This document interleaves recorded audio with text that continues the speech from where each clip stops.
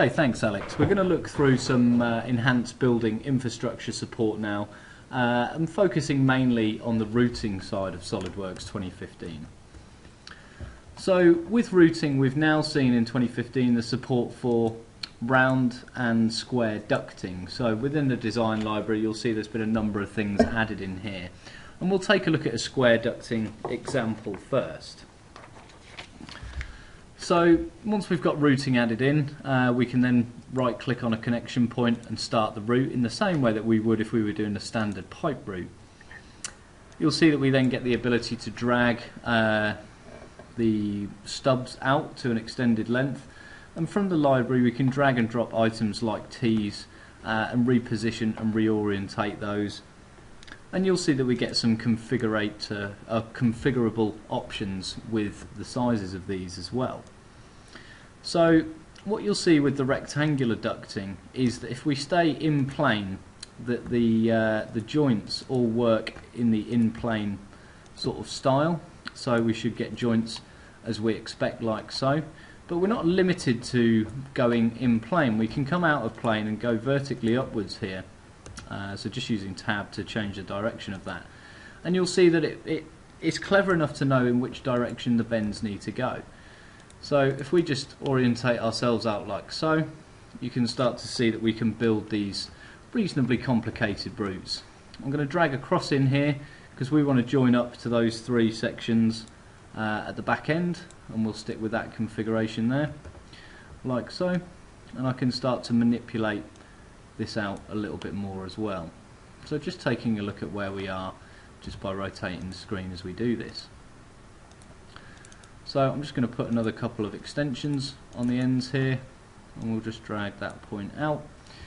We've also got the support for reducers within here as well so we can start adding on reducers into the certain sections here and then we can just finish off by attaching each of the, these to the connection points for the outlets.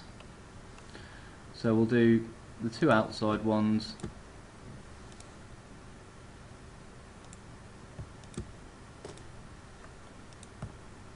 and the center one.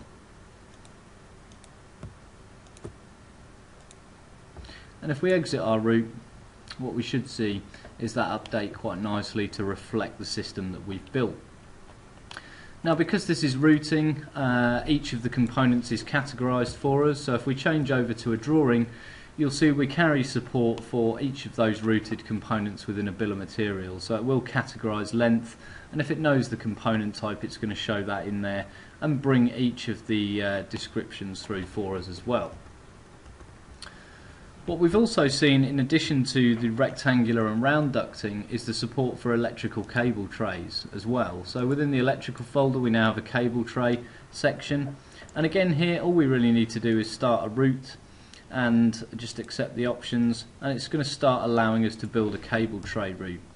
Again very much like the rectangular ducting if we just draw some lines out here you'll see it honours the correct orientation of each of the bends. So we'll just make sure we go down in the right location here. And you'll see it puts each of those bends on in the correct orientation so we'll just pin our sketch down a little bit here. So we're just going to snap to some model geometry to constrain that. And here really we're doing this just to ensure that if our frame uh, component changes that our cable tray is remaining parametric to it. So we'll just finish off here. Like so make those two collinear now again with the cable tray system we've also got things like crosses. We can then start to add on any additional elements to the route that we want. So again just a good example of how functional this system is. We could decide to go downwards here and then come across and you'll see the bend changes to honour what the system expects us to want. So if we just come out this way here and out like so, you'll see each of the bends is keeping the orientation correct.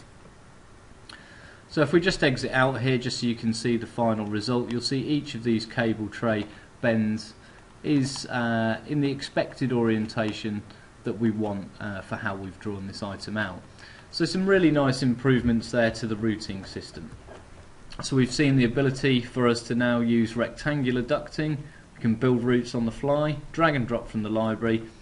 We've also got the support for cable tray routing, which automatically handles the different bend directions, still has the facility for drag and drop from the library. So hopefully with the support for these two systems here, we should be able to speed up the detailing of building infrastructure. Okay, Alex is going to run us through some weldment improvements now.